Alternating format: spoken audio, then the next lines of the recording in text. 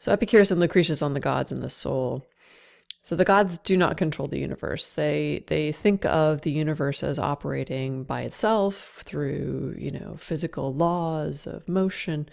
Um, the atoms move, they come together, they break apart. We don't need the gods to be running everything. And further, now this is where things get a little tricky. Um, both Epicurus and Lucretius thought that the gods did exist. And of course, remember they're empiricists, so there must be some evidence of the gods through our senses, right? Or through our internal senses of our thoughts and our feelings. Well, this is, you know, kind of iffy, I think, but Epicurus says specifically that, well, people have ideas about the gods and they're similar across uh, different people, different places.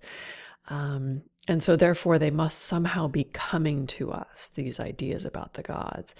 And he says that we, we get these, these uh, images of them and these beliefs about them through our senses, through mostly in our dreams, he claims, but also maybe in waking visions.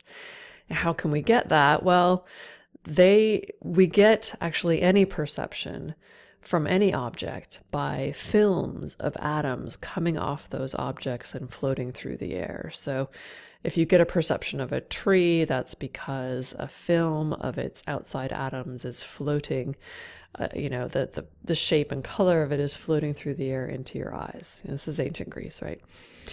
Um, and the same thing is happening with the gods, that they are also made of atoms because everything is made of atoms, right? Or, you know, emptiness.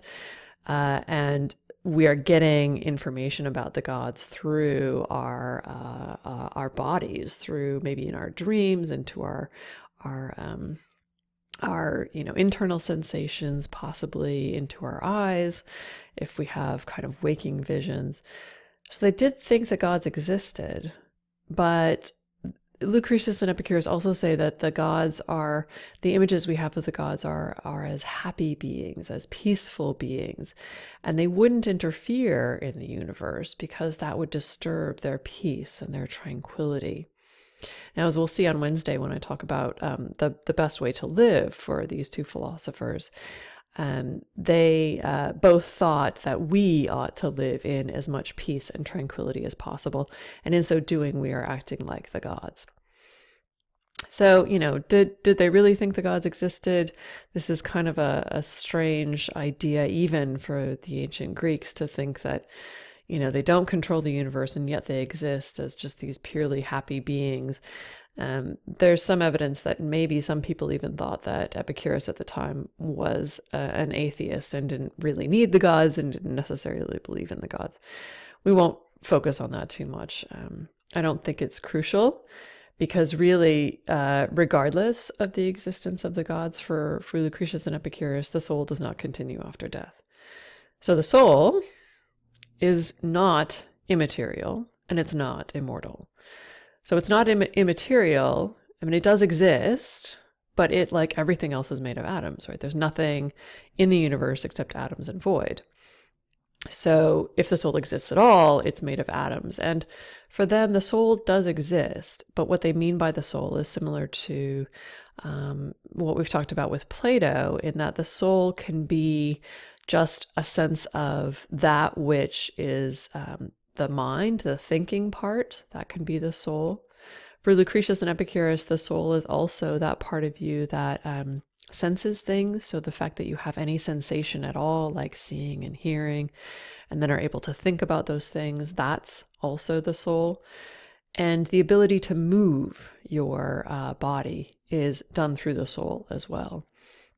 So there is a soul, it does movement, it does sensation, it does thinking, it basically gives life, um, but it does not continue on after death and it's not immaterial. So the soul and the body are bound together and the soul cannot operate outside the body. And Lucretius has a couple of good examples uh, of this.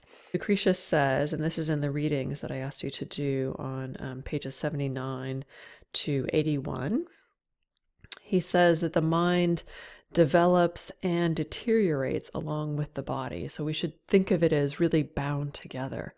That as we as we start off as young children, our our bodies are kind of, you know, not very good yet. We can't really um, uh, control their movements, and the mind is not very good yet either. It can't really control the body, and it can't really think that well. So as we get older, the body develops and the mind develops and gets better over time. And as we get further into old age, he claims, the body starts deteriorating and the mind starts deteriorating.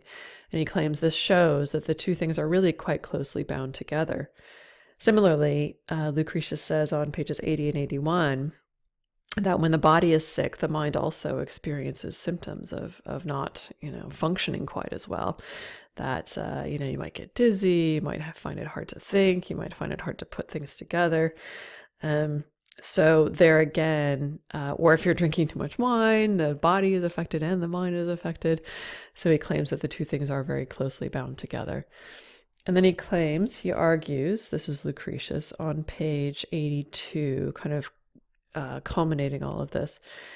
The body and the mind and vital forces owe their energy and enjoyment of life to their interconnection. Divorced from the body, the substance of the mind cannot by itself produce vital motions. So just the mind by itself does nothing. And the body, once abandoned by the spirit, cannot live on and experience sensation.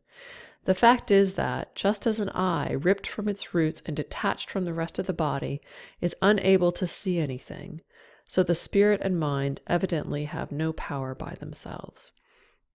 So you can also think about it just with your sense data. You know, we have no information from the senses that indicates that uh, when the body dies, the mind goes on. Right? There's there's nothing that indicates that that is is the case from our senses, and and it would be strange for the mind to be able to do anything without uh, matter, other you know bodily matter being attached to it. Um, where would it go? You know, maybe into another body, but we don't have any sense that that would be the same person.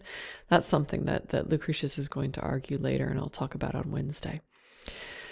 But both of them agree that the soul and the body are bound together. The soul cannot operate outside the body, and once the body dies, that is it. There is no more sensation. So we get from Epicurus, death is nothing to us.